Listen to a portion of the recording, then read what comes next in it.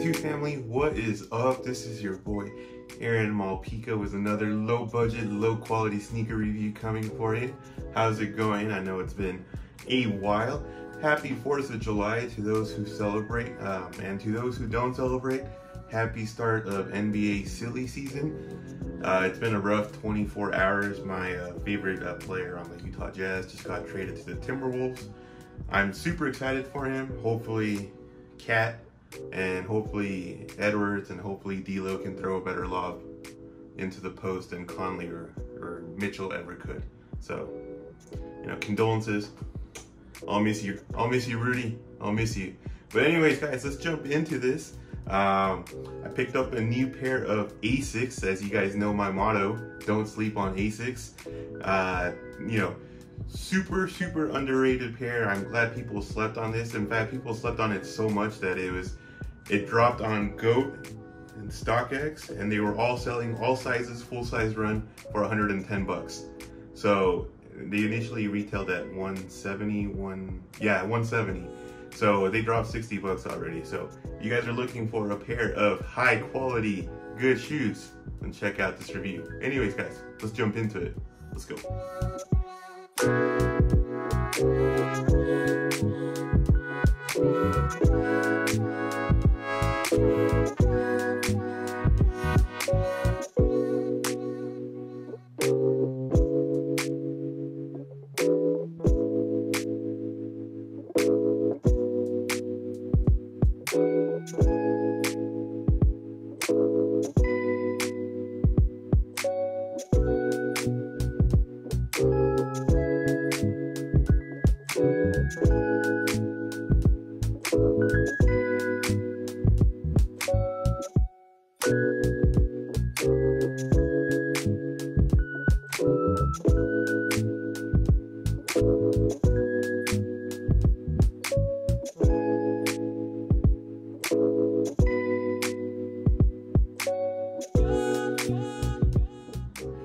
I actually really enjoy them more with the darker green laces, the ones that match the logo. Uh, the other ones are nice. I, I just felt like they blended too much with the the pigment on the on the suede out here. Now, something that I will say though, uh, Asics I feel like does a very good job of getting material, especially with collaborations. But I personally think their GRs are top notch as well. I haven't had any issues with them.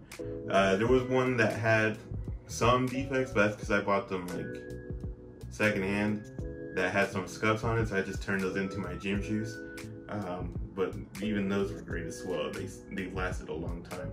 Uh, there's what I like about them. There's I've never had any like issues with like glue stains. Uh, the suede on the toe box is it's not as it's not as buttery as other. In fact, you can very very hardly see some.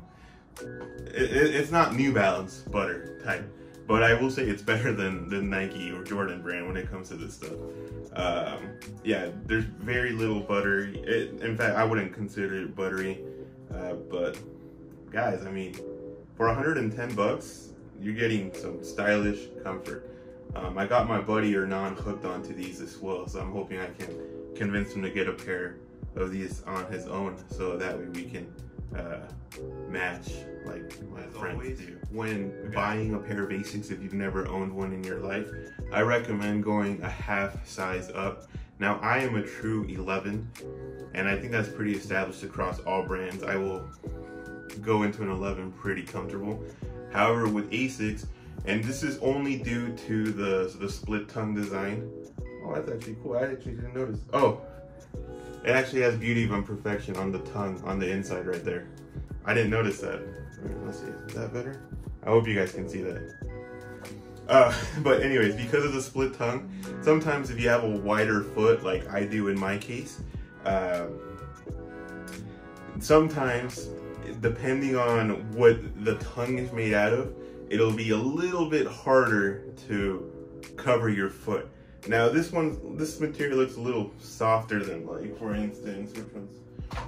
On these vintage nylons, uh, I don't, I don't know if it's because of the material. Uh, it's, I have to like squeeze them so that it like the tongues touch. But then there's others that, for instance, like these, that you know that are pretty straight, comfortable without me having to do much work. I don't know what it is about it. Maybe it's uh, a size thing, but I would recommend going a half size up if you have a wide foot. Uh, that way you can ensure that the double split tongue will correctly caress your foot. This has been a tip from the honey badger. Also, some people complained in other YouTube videos about the the insole.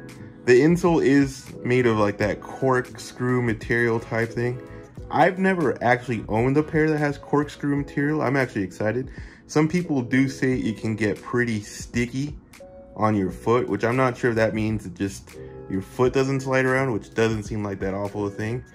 Or it can just make, depending on what kind of socks you're wearing, it could cause some issues. Uh, I wanted to show you guys the get a good up detailed look. On the left pair, it has Asics branding, and on the right pair, it has Afew. Uh, I don't want to take them out. I've never been a fan of taking out the insoles, but I'm keeping them. I have no issues. I'll return and report and let you guys know how it goes. Alright guys, well that's it for my video today. Just wanted to keep it short, sweet, and concise. Uh, I'm going to be leaving you guys with some on feet pics just so you can see what it looks like. Um, thank you so much for your support. I truly value your your viewership. I can't believe we have 84 subscribers. Nowhere in my mind that I think I'd even get 50 subscribers. Because again, I just do this for fun. I just do this on shoes that I like. Uh, I'll never be one of those uh, hyped sneaker review YouTube channels. Um, but that's totally okay with me. I, I value each and every one of you guys. So if you like this video, feel free to hit that like, feel free to hit that subscribe button. No rush, no, no pressure. Uh, guys, thank you so much for tuning in. In the meantime and in between time, check this out.